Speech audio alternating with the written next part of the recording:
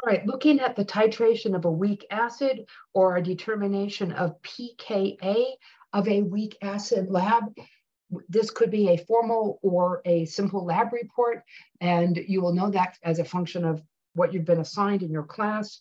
So with this in mind, we know that what we've done is fairly straightforward. First of all, our possible acids here are potassium, hydrogen, phthalate, ascorbic acid, maleic acid, and there could be one more. And if there is, um, your instructor will let you know on that one. So these are your possible unknowns. Our job for this experiment is to one, get the pKa, or it may be pKa's, pKa1 and pKa2 of our weak acid. You're going to get the molar mass of your weak acid, and you're going to use that data to calculate the initial pH and compare it to the measured pH. With this in mind, we have to make sure we've recorded our data correctly, and we're going to have to graph this. So you are going to have weighed out the, the amount as indicated on the bottle. Make sure you record that. Make sure you have recorded the molarity of your sodium hydroxide, and we're just going to titrate. And you've collected all of this data. So with this, what are we going to do? Well, you have your letter or your number of your unknown, you have the mass that you weighed out, and the concentration of your particular bottle of sodium hydroxide. When you graph this, you're going to have some rules here. One, make sure you have the maximum amount of grid lines because you're going to have to read off of this graph. You're going to put the pH on the y-axis. You're going to put the volume of your NaOH added on your x-axis, and you're going to have your grid lines. And it's going to do one of two things. It's either going to come up a little bit, level out, bump up, and then level out. Or if you have a diprotic acid, it's going to bump up again and level out again. If you have the diprotic and you have the two little humps on this one, you're going to have two pKa's. So let's make sure we remember what we're doing here. If we have a buffer, we know that our equation for a buffer is pH is equal to pKa plus the log of the base over the acid. We know that if we are looking at a titration here where we're adding a strong to a weak, what we're going to have on our strong to a weak is we're going to have a couple of relevant things. One, we're going to have, we're going to ignore this little jump at the beginning. That's just getting and starting to generate our buffer. What we're looking at is where our pH changes dramatically.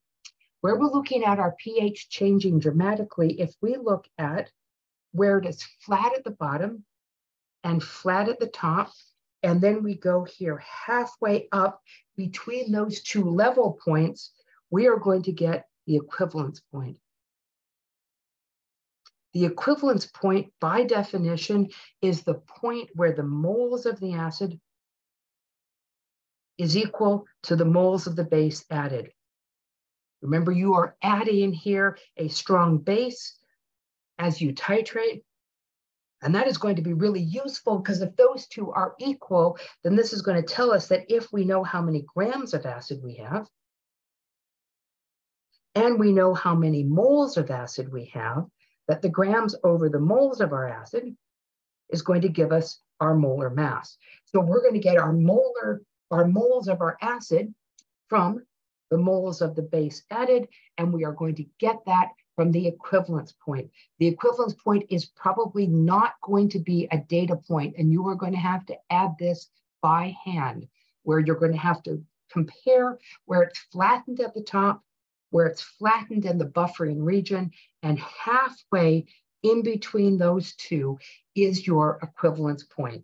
All right, with this, and obviously, if you read down from your equivalence point, you're going to get the volume of base added. Remember that the volume in liters of your base added multiplied by the molarity of your base, which you recorded, is going to be the moles of the base. All right, so we've got our moles of our base, we've got our grams of our base, and we've got our molar mass of our base. The second thing that we have to get off of this graph, again, we got to have nice grid lines in order to do this, is that if we have our equivalence point here, halfway to the equivalence point by definition, halfway to the equivalence point, our pH of our solution is going to equal pKa of our weak acid.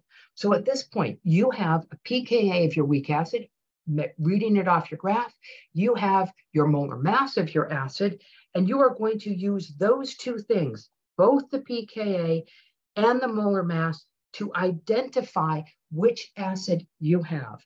Now, the last step you're going to do this is you're going to calculate the initial pH. This is going to require an ice chart. This is going to require that you remember that you dissolved your acid in 100 mils of deionized water, and you're going to have to take the pKa you used, get your Ka for that, and then calculate the pH of this acid.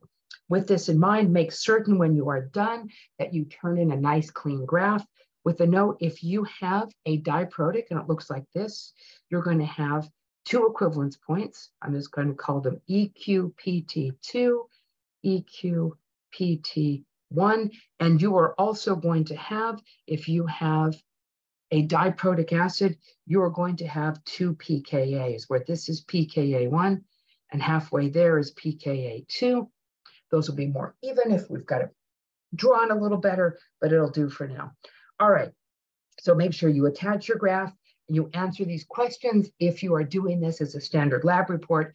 If it is a formal lab report, then you're gonna have a different set of instructions as you go through. Make sure you explain at the end um, by comparing your pKa's and your molar masses, which of the acids you have, your possible sources of error, um, and why you think it is that particular acid.